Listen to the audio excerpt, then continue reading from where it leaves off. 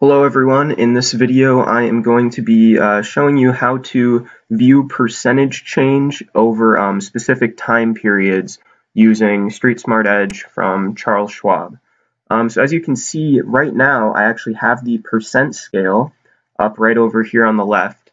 Um, so the percent scale will move based on, so right down here you can see I, am moving um, where I'm looking at the chart and the percent scale, zero will always go to where the open was for the time period you're looking at. Okay, so no matter where I move this to the left, zero is always going to be um, wherever it opened. Okay, so anyway, if you want to uh, turn on the percentage scale, so you need to go over here and make sure that you're not in a streamline view. So you need to pop it out so you can see these settings. Go to the settings. Um, and then go to the settings tab, okay? Then you are going to see it right here towards the top, okay? How it says show percent scale. So if I turn that off, as you can see, it goes away, and I turn it on, and it comes back, okay? So not only does the does that uh, pull up the percent scale over here, but it actually pulls up this, which I don't know if you noticed. So look up here um, where it says MGI, okay?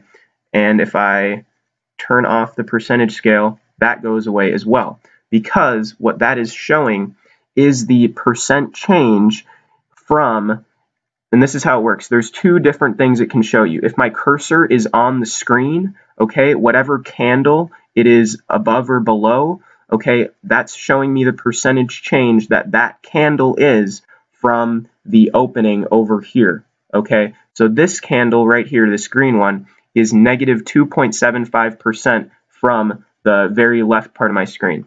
Okay, so that's what that shows you. If you don't have your cursor on the screen, right, so I just took my cursor off the screen, now it automatically jumps to where the price is at right now.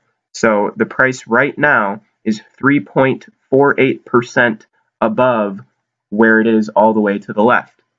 Okay, great. So now hopefully you understand that. Um, there's a couple other things I'm going to show you um, if you'd like to uh, stick around and get some extra info. So you can change the location of the price scale. This is the price scale here on the right. And if you move it to the left, then your percentage scale, scale will show up on the right. And um, you know, you might uh, want to use that. I personally, a lot of times I will keep it on the right. Um, and here's another cool thing, or actually, oh, and something to note, okay? Sometimes you'll have weird candles like this one, okay, where it's just way out of whack and, you know, so you want to get rid of it so that you can actually see the scale, how it should look, which is more like this, okay? So then what you have to do is you actually have to turn off the percent scale, which is, you know, then you can't see the percent change, but at least that candle won't just mess with your with your view when you're looking at it. So if we do, if we turn off the percent scale, then that big large candle um, goes away so we can look at it normally. Um, but most of the time you won't have to use anything like that necessarily. Um, but yeah, I, I just turn it on and off when I need it. Most of the time I have it on. Um, and another thing that you can do is you can actually adjust the um, percent scale and uh, then you can get a better view of, you know, say that the price right now is where it is. So like 180, 187.50, okay? And you want to know how, if it goes up like 3% or whatever, where is it going to be? So let's move this all the way over to where it is now. And now I'm going to move the percent scale. So right now the percent is at zero, which is where the price is right now, okay?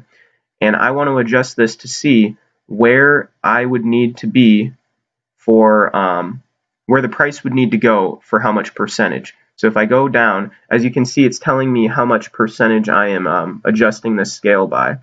So if the price needs to go up 10%, okay, then it has to go to about um, right here at 206, okay, and that would be about 10%. And as you can see now, I can adjust this back to zero and zoom out.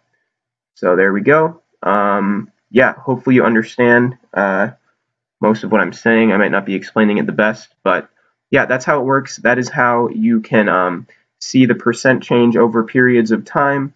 Um, and as I said, if you move this um, chart, right, it's going to adjust your percent scale based on the leftmost part, okay? So based on the first candle that shows up and the last candle on the right. So there you go. Hopefully this video was um, useful. And uh, if it was, you know, might as well drop a like. So anyway, good luck with your trading and uh, have a good one, everybody.